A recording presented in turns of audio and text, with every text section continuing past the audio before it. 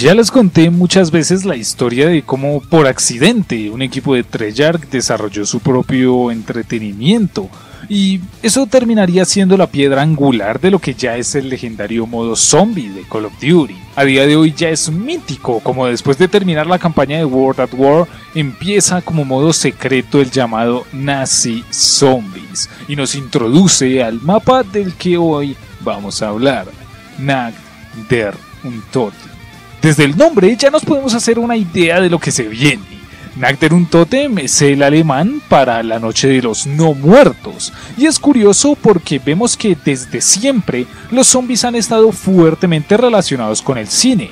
En Infinite Warfare esto será explotado, pero hoy no nos toca eso. El nombre un Totem hace referencia a la primera película de zombies que tuvo éxito en la historia del cine. La Noche de los Muertos Vivientes de 1968, dirigida por George Romero, un viejo conocido de esta saga también.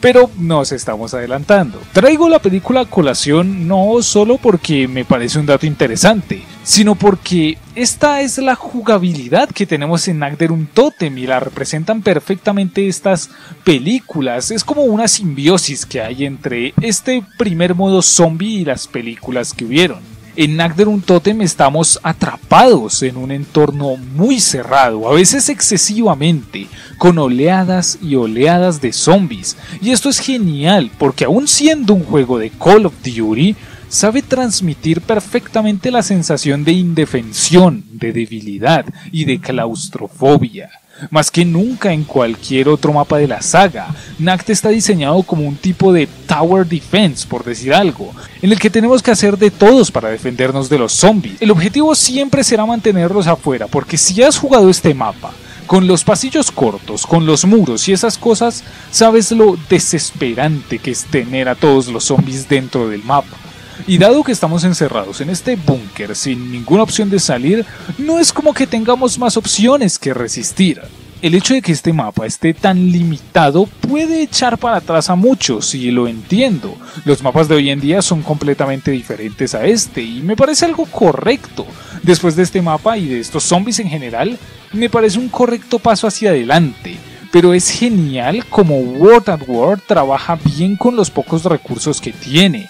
El mapa no tiene mal diseño, ni mucho menos, es grandioso como después de un par de partidas ya conoces a la perfección el mapa y esto te da cierto sentido de pertenencia, te da la sensación de conocer cada rincón de este búnker.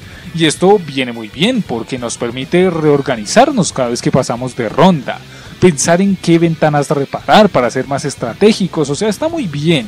Creo que la noción de zombies como un tower defense se ve en detalles como que una buena parte de las veces los zombies dan vueltas alrededor del búnker, solamente para ir a la ventana más alejada de él y entrar por ahí. Eso nos da un cierto tiempo prudencial para acabarlos y no dejarlos entrar. Pero este mapa no es un tower defense al uso. Ya mencioné que este mapa está algo limitado de recursos y sí, es así porque es el primer mapa de la saga y nadie sabía si funcionaría, por lo que no era rentable invertir demasiado en el modo. Y entonces aquí nos encontramos cierta falta de sensación de progreso, no sentimos que avancemos, lo que puede ser desalentador, aún más viendo todo lo que se puede hacer a día de hoy en un mapa zombie, pero debemos entender que es producto de su época. Creo que aparte de la caja, lo único especial que tiene el modo es un armario que hay en el segundo piso. Vale 500 puntos abrirlo y cuando lo abres te dan un Mosin Nagant, un sniper. Lo cual, a estas alturas yo prefiero tomármelo como una broma, en serio, y está bien. Pero si estás desesperado por un arma en una situación difícil, créeme que no te hacen gracia que te den esta basura. Pero aún así es un detalle interesante. Y repito, creo que los zombies se hubieran fracasado si se hubieran estancado en ese estilo Tower Defense. Pero me parece que aquí en un Totem funciona bien. Es como una experiencia única que tiene este mapa en particular. Otra cosa a destacar es el nivel de dificultad que tiene este mapa, siendo, en mi humilde opinión, el más difícil de todos. Y esto se debe en esencia a los recursos tan limitados que tenemos. No teníamos perks, no teníamos muchas armas, Pack-a-Punch, Jagger, Quick, ni siquiera Wonder Weapon teníamos, solo éramos nosotros y lo que buenamente pudiéramos conseguir de la caja por lo que estamos condenados a que si recibimos dos golpes en cualquier ronda, quedamos fuera, sin oportunidad de nada. Lo cual es bastante crudo y se puede sentir algo injusto, pero por más veterano rancio que parezca, creo que es así como se forjan las personalidades de los jugadores, porque es en serio que no tenemos absolutamente chance de mejorar ninguna de nuestras armas ni nuestra resistencia, nada de nada. Además, no hay ningún arma que tenga daño infinito, por lo que física y matemáticamente va a llegar un punto en el que no podamos matar zombies. Literalmente no vamos a poder. Así que desde el que empezamos la partida estamos completamente condenados. Y sé que muchos van a mencionar la Ray Gun y sí, está por aquí como una Wonder Weapon, pero parece más un lanzacohetes que otra cosa con su daño de área. Le hace mucho daño al usuario y es más factible que nos termine matando a nosotros, por lo que para mí no cuenta. También cabe mencionar los power-ups. Aquí nacen los clásicos, que si el insta-kill, la nuclear, la munición máxima y creo que los puntos dobles, que son como la única forma que tenemos de mejorarnos en medio del combate.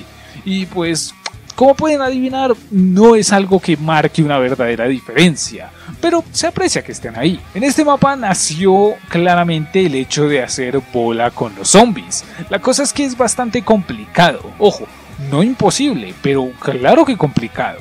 Sé que antes critiqué el hecho de que el mapa sea tan limitado a nivel de contenido, de cosas por hacer, pero me parece conveniente que haya sido así, porque junto con un diseño de mapa grandioso que no atraganta al jugador, creo que fue la clave para que este modo pudiera crecer, porque es simple, pero no simple de mal, sino es tan fácil de entender que te haces a la idea muy rápido y después de hacer locuras como intentar llegar a la ronda 50, te quedas con ganas de más. Quieres explorar más y más, y ahí es donde entran los demás mapas que veremos más adelante. El un Totem para mí definió lo que es la esencia zombie en todos los niveles. En el jugable nos planteó lo básico. Matamos zombies, obtenemos puntos, compramos cosas y tratamos de sobrevivir.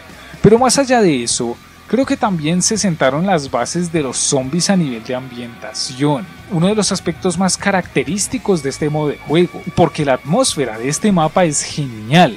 Otra cosa no, pero la capacidad de ser oscuro, muy misterioso y opresivo es algo que no se logra en cualquier mapa, ¿sabes? El jugar con las luces, el ser muy oscuro, pero no lo suficiente como para no ver los sonidos, todo, toda la gran mezcla, la introducción que te hicieron, o sea, desde que arrancas ya estás psicoseado. Es como una suma de partes que hacen algo verdaderamente único. Y creo que así es como podemos definir a un Totem, como una experiencia única. Fue la puerta de entrada que tuvimos hacia los zombies. Y sí es verdad que aquí no teníamos todavía nada de historia, nada de lore, nada de nada. Simplemente era el gusto de matar zombies, sin más. Pero aún con esa simpleza, sentó todas las bases que los mapas posteriores explorarían y nos darían el modo que conocemos hoy.